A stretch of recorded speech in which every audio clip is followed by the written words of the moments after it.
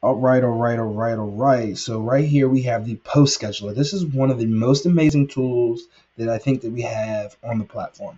We're constantly looking to add more and more tools, but I think that this one right here is going to to save you a lot of time and potentially get you a whole lot more leads and make you more money. So let's jump right in. So the first thing that you do is you just make your title. You can select your hour, your minutes, and whether AM or PM.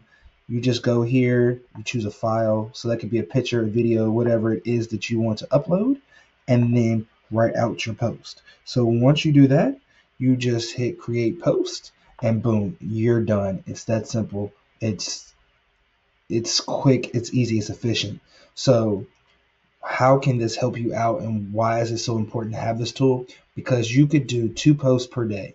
So you could spend maybe an hour, two hours filling this up, filling this in, and then you don't have to touch it again. So you can do this for months in advance. I like to sit down and do multiple uh, videos or do multiple um, pictures and just basically have a whole lot of content scheduled out. So you can go ahead and schedule out a month, two months, three months in advance, and then you don't have to worry about in going back, getting on Facebook, and doing the, the, the post and remembering to do it because what happens is you have a ideal slot for when you get the most engagement on a post.